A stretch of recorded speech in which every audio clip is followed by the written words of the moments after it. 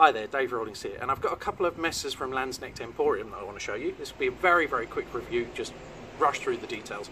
A little bit of background to the order. Uh, we ordered them quite a while ago, and there were a few problems with delivery, but the guy who's running it, Adam, was very, very clear about what was going on and didn't feel that we were kept out of the loop at all. Um, and he made some little improvements on the messers as a result of the weight. So the weight in itself was disappointing, but the end product and the communication that went with that product, I think, were, were worthy of mention. He was very, very nice to deal with. So, first of all, we have two. This one we'll come back to in a second.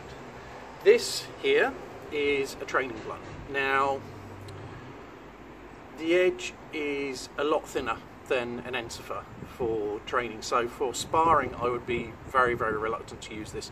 Not so much for damage to my partner, but to damage the sword. These edges here are very, very fine for a trainer. Um, for drilling, absolutely lovely. This handles very, very well, I have to say, um, as you can see. Potentially two-handed grip if we want it. Um, nice nail on it. Okay, And you can see these are very, very workman-like made. They're very secure, all the fittings are nice and anchored, there's no problems with any of that.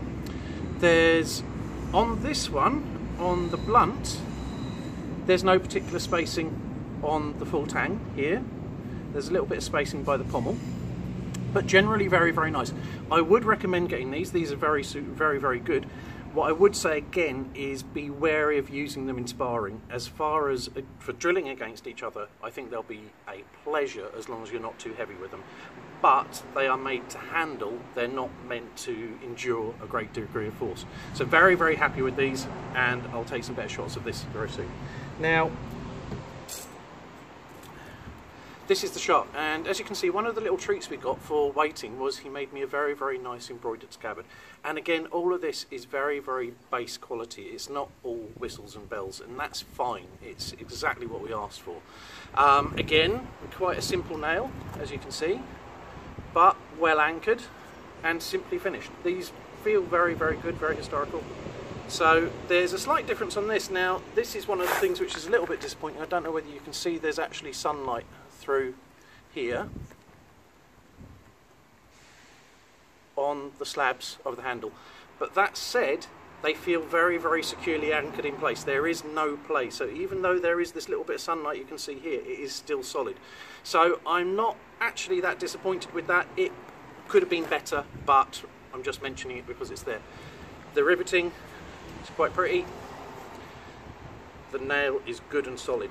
Now, in a minute, Unfortunately, when I took this, as you can see here, there's a nice sharpened clip on this, which I've not had a chance to use yet, which gives it a very, very thin profile, very delicate edge, but these measurements, James Elmsley tells me, have been taken very, very accurately, so I'm very pleased with this as well.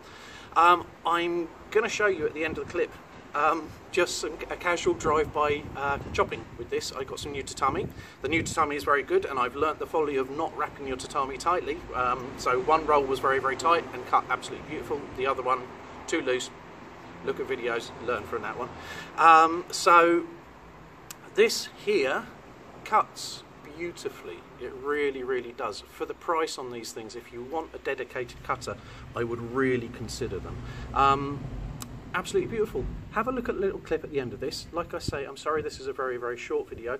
They're well worth the money you pay for everything from Landsnecht Emporium. They're a pleasure to deal with.